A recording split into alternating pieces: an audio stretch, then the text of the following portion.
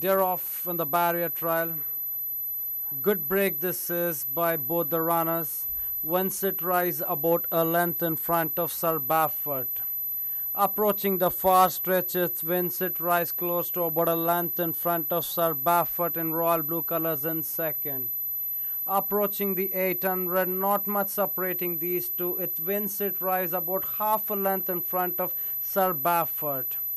They're approaching the monument. The stablemates are galloping strongly with Vincent Rise about half a length in front of Sir Baffert traveling five wide off the fence. Racing towards the 600, Vincent Rise about a length and a half in front of Sir Baffert is about 3-4 wide off the fence. Both the runners turn towards the home stretch. Vincent Rise is clear about half in front of Sir Baffert taking the turn 6 deep.